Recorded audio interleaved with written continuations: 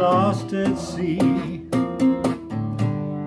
Problem I've got is beyond me. Then in a flash, two crews connect. I start to see.